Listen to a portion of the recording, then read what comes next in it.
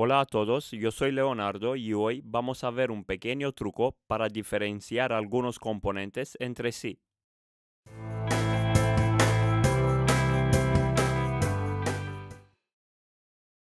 En muchas ocasiones, si no tenemos un diagrama, es bastante complicado identificar algunos componentes.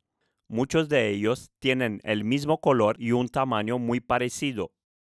Fácilmente puedes confundir una resistencia con una bobina de ferrita.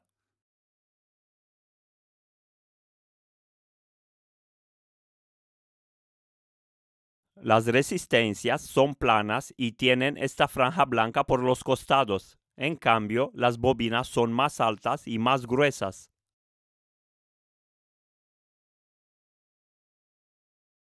Aquí podemos observar que esta bobina no tiene la franja blanca y como norma general es un poco más alta que una resistencia.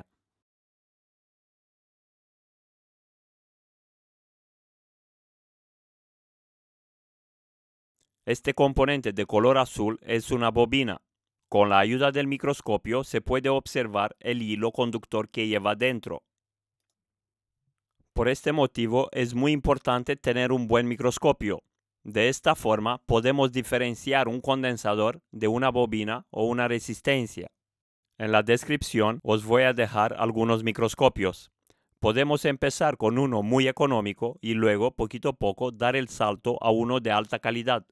Vamos a ver otra vez la resistencia de lado podemos observar el color negro que tiene en la parte superior y la franja blanca por los laterales. En los móviles, esos componentes son tan pequeños que no tienen ninguna serigrafía para poder identificarlos. Esta imagen vale más que mil palabras.